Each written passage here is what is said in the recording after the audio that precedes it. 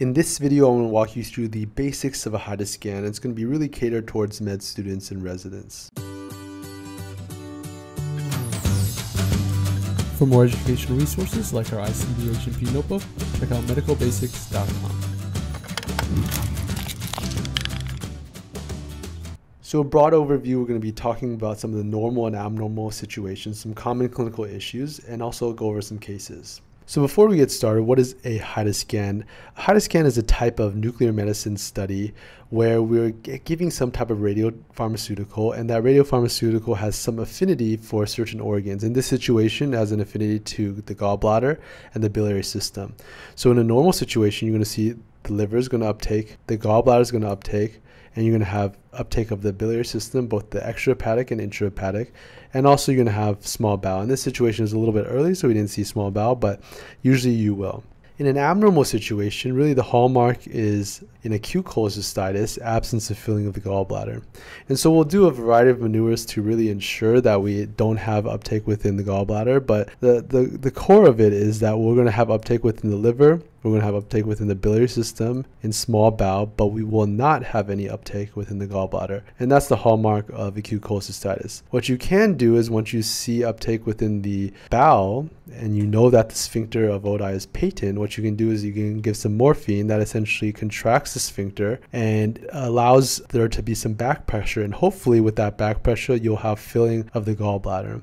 If you do have filling of the gallbladder, then you can exclude acute cholecystitis. And if you still don't have filling within the gallbladder, then it's positive for acute cholecystitis. In chronic cholecystitis, it's a little bit different. So chronic cholecystitis is essentially chronic inflammation of the gallbladder. Unlike acute cholecystitis, in chronic cholecystitis, you'll have filling of the gallbladder, although it may be a little bit delayed. However, really the hallmark is that you're going to have delayed ejection fraction. So what does that mean? Ejection fraction, just like the heart, is how quickly radiotracer or any type of material within the gallbladder is able to be excreted after you stimulate it. And how we're going to be stimulating it is with CCK CCK will contract the gallbladder and allow you to essentially expel everything from the gallbladder. So very simply, it's just going to be we're going to be calculating what is the uptake what are the counts within the gallbladder after we've filled it. So that's time zero. We give cck so we now contract it and we wait an hour and we count it again and we subtract those to get uh, essentially a percentage of how much was able to be excreted. In this situation went from about a thousand down to 800 so we got an ejection fraction of 22% so anything less than 35% abnormal. That's going to be chronic cholecystitis. Anything above that is going to be typically normal. So I kind of alluded to some of this with, you know, morphine and CCK, but there are some clinical issues that you have to be aware of when you're ordering these tests and kind of timing it. One is there's a lot of coordination that re- is required, you know, both from a logistical and staff situation, but also in terms of what you're giving the patient. So opioids are something that can be very problematic in situations like this because you can imagine if a patient were given opioids fairly early before the exam, they're going to contract the, the, the sphincter. This will not only not allow you to have radio tracer going into the bowel, that could be dangerous because you essentially cause an obstruction, but also you can have a falsely negative exam, right? You can have radio tracer going into the, the gallbladder, but really what you're worried about is you're now obstructing the sphincter, and in theory, that, that can be problematic. You essentially have all this back pressure and you can't excrete anything from from the biliary system. So we don't like to have patients have opioids, which often they do because they're in a lot of pain for at least a couple of hours and it'll vary by institution. The other thing is you want to make sure the patient's NPO. Everything is all about pressure, right? So if you eat a meal, the gallbladder will contract and if that's the situation, it's going to be much easier for radio tracer to go in. Likewise, if you haven't had a meal in a long time, you know, you're going to have a very dilated, distended gallbladder, and that would preferentially not want radio tracer to go in, right? It's all about pressure. You want to go to the path of least resistance. If you if your gallbladder is really distended, has really high pressure, well, it's not going to want to radio tracer is not going to want to go into the gallbladder, and you're going to get a falsely positive exam in that situation. So really, what the takeaway is, there's a there's a golden zone. You want to be not NPO for too long and not NPO for too short. So you just want to talk with your radiologist to figure out what that time point is. We kind of alluded to this in the last slide, but there's a there's a balance with all of this you want to make sure that you're not giving opioids prior to the exam or also not having the patient be NPO too far or too soon before the exam.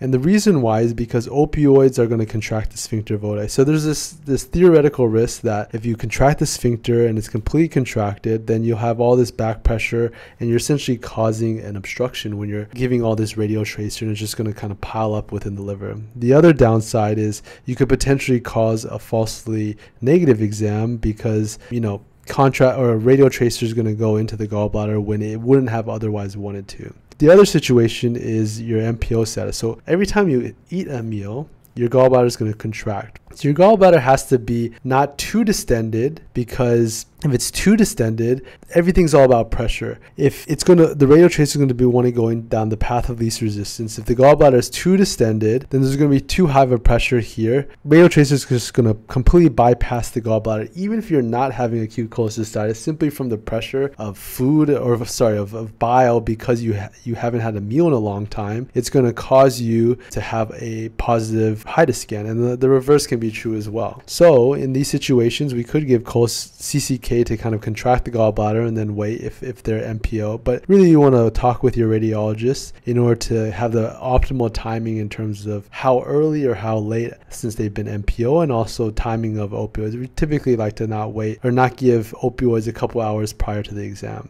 Now we have a few cases of HIDAs that are kind of unique. Acute cholecystitis, chronic cholecystitis, that's going to be your bread and butter. The most common reason why you're going to be ordering for acute col- for a HIDA scan. However, this is one situation, gangrenous cholecystitis. If you can see, you have the slough membranes in the ultrasound, kind of have this asymmetric wall, and you, you have all this uh, stones and sludge within the gallbladder. But you can actually see this on HIDA, and what, what the sign is, is this rim sign. I don't know if you can appreciate this, but you can see kind of this rim of activity in the gallbladder fossa around the inferior hepatic lobe, but you don't see any uptake within the gallbladder itself. So if you have no uptake within the gallbladder, that's already by definition definition acute cholecystitis, but you also have this rim of activity around it. Gangrenous cholecystitis is much more severe than acute cholecystitis and requires much more immediate attention. And so this is a situation that would be a little bit more unique that you would want to act on it sooner. And gangrenous cholecystitis, if you remember, is due to essentially necrosis of the gallbladder wall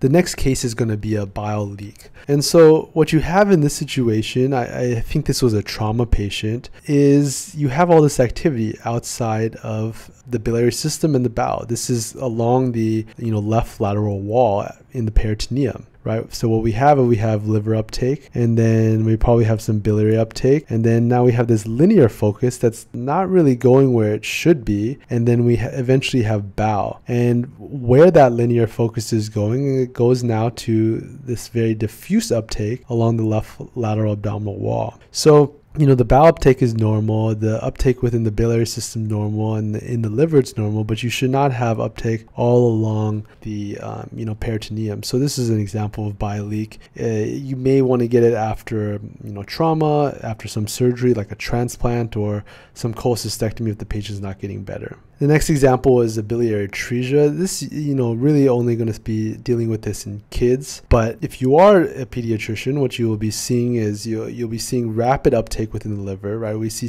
very intense, rapid uptake within the liver very early on, but you don't see anything else. This, these are actually the kidneys, so you're having renal excretion both in the kidneys and also in the bladder. However, you don't see any biliary uptake. You don't see uptake within small bowel. You don't see uptake within the gallbladder, essentially because the patient doesn't have bile ducts. And so that's that's an example of biliary atresia. And then the final example I wanted to give you was biliary obstruction. So this, if you'll notice, you'll have some uptake within liver, you have uptake within the bile ducts, and you also have uptake within the gallbladder, but it kind of just stops, right? So I don't see any uptake within bowel. I just see it stop right here. And no matter how long you wait, this in this situation they waited two hours, you still don't see any uptake in, within bowel, but you still see it the same uptake where we were seeing early on. So this is an example of a biliary obstruction. Essentially, if you have an obstruction of the, you know, in this situation probably the CBD, then you will not have any tracer going into the bowel. So there can be varieties of this. You can have a, a high obstruction, you have a lower obstruction, and depending on that, you may or may not have any uptake within the gallbladder. But you definitely shouldn't have any uptake within bowel if there's a biliary obstruction. Be sure to check out our website, medicalbasics.com, for more educational resources like our progress notebook, and don't forget to subscribe to our channel for more tips and lessons.